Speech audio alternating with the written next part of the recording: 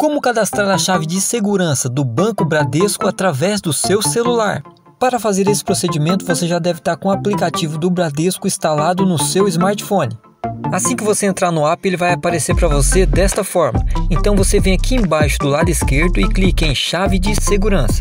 Uma nova guia será aberta e aqui você vai escolher por onde você quer cadastrar a sua chave. Você tanto pode cadastrar a sua chave aqui pelo aplicativo, igual vamos fazer, como por outros canais. Se você quiser ativar sua chave pelo um caixa eletrônico, você clica em outros canais. Se você não sabe como fazer isso, eu vou deixar um link aqui embaixo na descrição ensinando você como ativar a sua chave através de um caixa eletrônico. Então, continuando aqui, vamos clicar em aqui pelo app para ativar a nossa chave pelo celular. Nesta nova guia que vai se abrir, novamente você tem duas opções. A primeira aqui é ativar uma nova chave.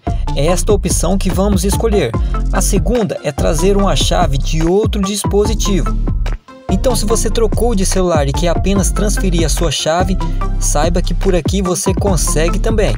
Mas como que o vídeo aqui é te ensinando a como criar uma chave, vamos clicar aqui na primeira opção, ativar uma nova chave. Nesta nova guia você deve informar a sua agência, o número da conta com o dígito e se você é o primeiro ou segundo titular dessa conta.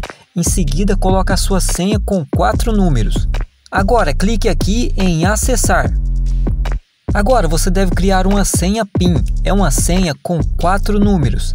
Você vai utilizar essa senha sempre que você for acessar a sua chave de segurança. Então crie a sua senha na primeira linha, repita ela embaixo e clique aqui em confirmar.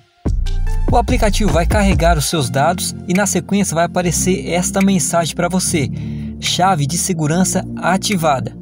A partir de agora você pode fazer transações aí com seu smartphone sem sair da sua casa. Espero que eu tenha ajudado vocês. Deixe o seu like, se inscreva no canal e até o próximo vídeo.